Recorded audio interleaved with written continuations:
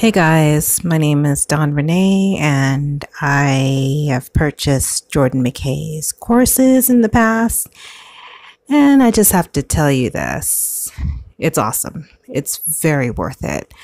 I've learned everything from how to use SEO tactics, it's extremely user friendly.